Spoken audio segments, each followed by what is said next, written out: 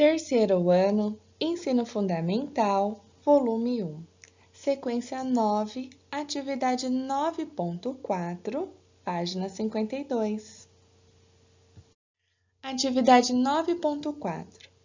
Ana Júlia e Tiago juntaram 20 tampinhas e estão brincando com elas sobre uma mesa, sendo 12 azuis, 6 amarelas e duas verdes.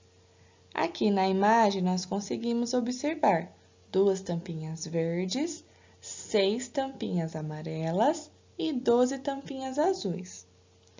Ana Júlia colocou as tampinhas em um saquinho e perguntou a Tiago se ele lembrava da quantidade correspondente a cada cor. Tiago, você vai dizer uma cor, em seguida retirar uma tampinha e verificar se ela é da cor que você escolheu. Número 1. Responda as questões. Letra A. Ao retirar uma tampinha, qual cor pode aparecer? B. Você acha que todas as cores têm a mesma chance de aparecer? Por quê? C. Para ter maior chance de acertar a cor que sairá, qual cor Tiago deve escolher? Por quê? Então, vocês vão pensar, observem a imagem e vão responder com muito cuidado e atenção as questões A, B e C. Vamos lá? Então, vamos lá, letra A. Ao retirar uma tampinha, qual cor pode aparecer? Pode aparecer a cor azul, amarela ou verde, porque nós observando aqui, Vemos que essas são as cores disponíveis no saquinho. Nós temos tampinhas da cor azul, amarela e verde. Letra B. Você acha que todas as cores têm a mesma chance de aparecer? Por quê?